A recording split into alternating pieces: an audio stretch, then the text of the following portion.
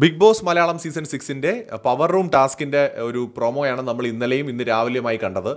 Task letter വായിച്ചു കഴിഞ്ഞു. മറ്റൊന്നുമല്ല സിമ്പിളാണ് മുമ്പൊക്കെ പല സീസണിലും കണ്ടിട്ടുള്ളതാണ്. പക്ഷേ വേറൊരു രീതിയിൽ മാറ്റി പിടിച്ചിട്ടുണ്ട്.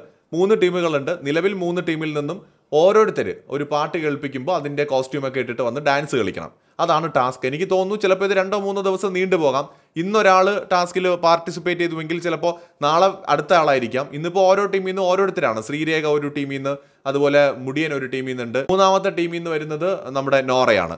പവർ റൂമിലുള്ളവർ ജഡ്ജസ് ആയിട്ടായിരിക്കും ഇരിക്കുന്നത്. അപ്പോൾ അത് വളരെ നല്ലൊരു കാര്യമായിട്ടാണ് എനിക്ക് തോന്നുന്നത്. നല്ലൊരു ടാസ്ക് ആണ്. ടാസ്ക് നമ്മൾ കണ്ടിട്ടുള്ളതാണ്. ജസ്റ്റ് ഒരു ഫൺ എന്റർടൈൻമെന്റ് കാരണം ആദ്യത്തെ രണ്ടാഴ്ച അടിയും പിടിയും പോകുകയും പടലമൊക്കെ ആയിരുന്നുകൊണ്ട് ഒന്ന് മാറ്റി പിടിച്ച് തന്നെയാണ് ടാസ്ക് കൊടുത്തിട്ട്. മാത്രമല്ല വീട്ടിലെ കുടുംബാംഗങ്ങൾക്കും സ്വാഭാവികമായിട്ടും ഒന്ന് ഒരു എനർജി കിട്ടേണ്ടതായിട്ടുണ്ട്. ഇന്നലെ ഒരു വലിയ ഫിസിക്കൽ അസോൾട്ട് കണ്ടു. ഒരാൾ പുറത്തു പോയി ഇമോഷൻസ് പലരും ബ്രേക്ക് ഡൗൺ ആയിട്ടുണ്ട്. സിജോ അങ്ങനെ ഇരിക്കുകയാണ്. അപ്പോൾ അങ്ങനെയുള്ള കണ്ടീഷൻസിൽ സ്വാഭാവികമായിട്ടും ബിഗ് ബോസ് കുറച്ചും കൂടി ശ്രദ്ധയോടെ ഈ ഒരു ടാസ്ക് മാറ്റിയിട്ട് ഗെയിമിനെ ഒന്ന് ചേഞ്ച് ചെയ്യുന്നതായിട്ടാണ് എനിക്ക് തോന്നുന്നത്. കൂടുതൽ അപ്ഡേറ്റുകളുമായിട്ട് നമുക്ക് വീണ്ടും കാണാം.